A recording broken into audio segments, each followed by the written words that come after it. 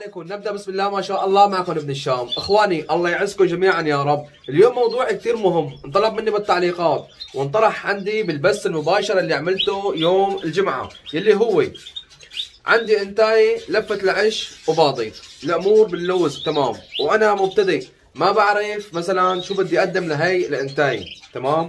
من آه، غذاء من مناقيع آه، من مثلا فيتامينات من بعض الخضروات أو الفواكه.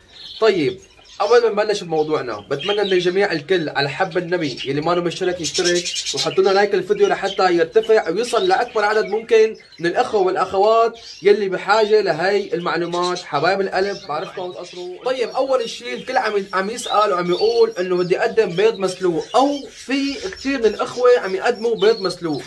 أنا عم شاهد بعض القنوات على اليوتيوب. عم يقول بس تكون انتاي بيضة قدم بيض مسلوق.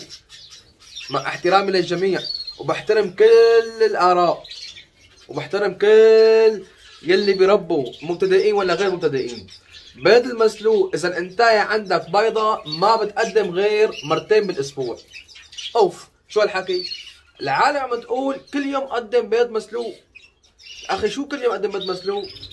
بعد مثلا ما تفقس الإنتاي أو ما شابه ذلك بقول لك والله عندي الإنتاي مثلا مشحمه أو عند الإنتاي مثلا فجأة ما كان فيها شيء صار احمرار ببطنها وعلى حب النبي كل مين صار معه هذا الموضوع يكتب لي بالتعليقات. أنا مزعوج كثير من هذا الموضوع. ليش؟ لأنه البيض المسلوق أخي ما بتقدم كل يوم. بغض النظر إذا كانت عندك الإنتاي أنت بيضة أو عندها فراخ أو مثلا عم تجهزها. البيض المسلوق ما بتقدم كل يوم. أول شيء بصير عنده تشحيم إذا كانت ذكر أو كانت الأنثاية هلأ أنا آه، طولت بهذا الموضوع على البيض المسلوق بس بدي نوه. وحتى يعني ليش أنا منكم حطوا لي لايك؟ لحتى تصل لأكبر عدد ممكن. هالمعلومات هي اللي عم يقول قدم بيض مسلوق غلط أخي. ما بصير تقدم بيض مسلوق كل يوم. ليش؟ لأن بصير في تشحيم الطير والبيض المسلوق هلأ مثلا إذا في عندك أنت رطوبة بالغرفة صار فيها عفونه البيضة تمام؟ عم ياكل منها الطير صار عنده التهابات صار عنده مثلا كبد أو مشاكل آه، بعض الأمراض بغض النظر مو هذا موضوعي أنا. موضوعي البيض المسلوق ما بتقدم كل يوم حتى لو كانت الإنتاي بيضاء تمام؟ أنت بتقدم بيض مسلوق قبل ما الإنتاي تبيض تمام؟ أنت عم تجهزها الإنتاي لفه العش لسه الإنتاي عندك أنت ما باضت بتقدم لها بيض مسلوق مرتين بالأسبوع. وبس الإنتاي عندك باضت بتقدم لها بين المرة أو مرتين ما في مشكلة بس كل يوم لا. طيب شو البديل عن البيض المسلوق؟ أنا قلت لكم إياها كثير ورجعت لكم مرة ثانية. اللي هو الباتيه. قدموا باتيه ما في مشكلة على الموضوع نهائيا. تمام إخواني؟ الباتيه لا بينضرب لا بيعفن وبيتحمل مدة أكثر من البيض المسلوق وما بيعمل تشحيم. تمام؟ طيب واللي ما عنده باتيه؟ تمام.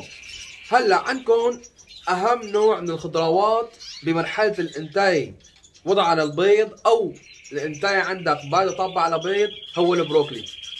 البروكلي سمه البروكلي. أنا ما بقدم غير البروكلي هو التوب عندي أو هو رقم واحد بالخضروات أو بالفواكه. طيب بعدها في عندكم التفاح تمام؟ يعني هلأ أنا مثلا مقدم بروكلي لنقول مثلا ثلاث مرات أو أربع مرات بالأسبوع تمام أخواني؟ طيب تفاح ما عندك بروكلي تفاح.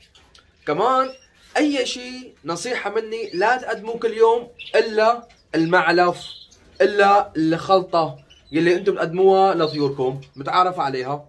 مزبوط ولا لا؟ ما بقدم أنا كل يوم إلا فقط الخلطة. بروكلي مو كل يوم تفاح مو كل يوم الخس مو كل يوم البيض المسلوق مو كل يوم. أي نوع ما تقدمه كل يوم. تمام؟ مثل ما انكم ملاحظين هلا أنا عندي هون أناتي عم جهزها للف العش إن شاء الله. هي مقدم لها أنا بروكلي. عندي الإنتاي هون مع الذكر وعندهم فرخ. مقدم لها بروكلي. وهون بيضة بيضتين بس أنا البيضتين حاطط لهم بيض بلاستيكي. طيب أنا عندي هون كمان فراخ بسم الله ما شاء الله حاطط لها بروكلي. وهي هون مثل ما انكم شايفين انتو.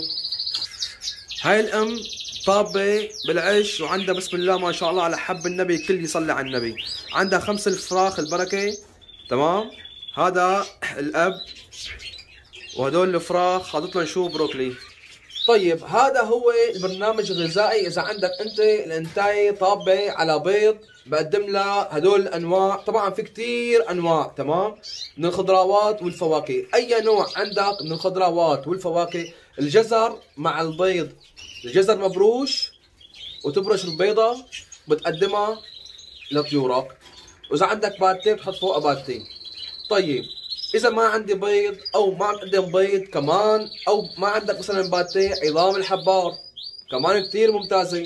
أنا رح أحط لكم هلأ صور طبعا إن شاء الله لحتى يعني تصلكم الفكرة أكثر وتفهموا علي أكثر طيب هذا الكل عم يسأل إنه أخي أنا عندي والله مثلا الانتايه طابه على بيض بقدم لها مثلا خل التفاح. ما في أي مشكلة. قدم لها خل التفاح الطبيعي بالمشربية وهذا الشيء بالعكس بفيد الطير ما بضره ليش؟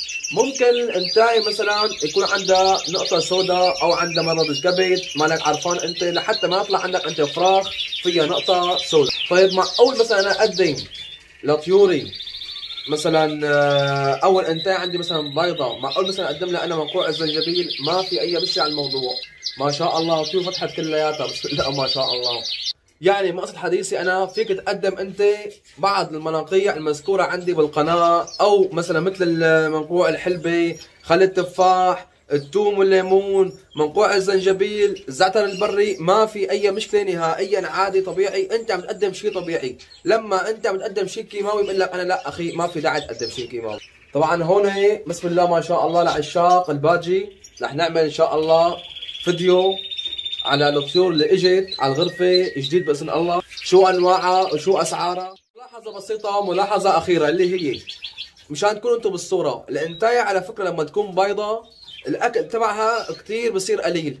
ليش؟ بتقوم تاكل وبتطب على البيض. يعني ما عاد تكون آه، اكلها مثل ما كانت تاكل وقت تكون عندها مثلا الفراخ أو تكون مثلا عم تجهز لحتى تحط البيض. افضل وقت تدعم الإنتاية فيه هو لما تكون انت لفت العش بدها تطير وقت تفرغ. هذا أفضل وقت.